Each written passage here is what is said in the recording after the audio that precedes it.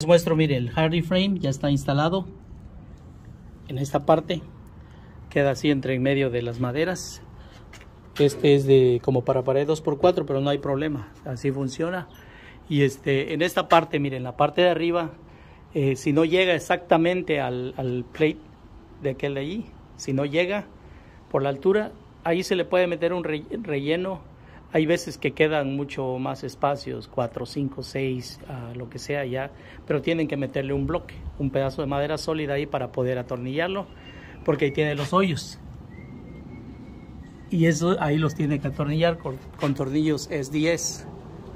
Aquí están las especificaciones, ahí lo pueden ver, ahí va de este lado, y eso es para amarrar toda la, la pared estructural con el piso, con lo del segundo piso más que nada.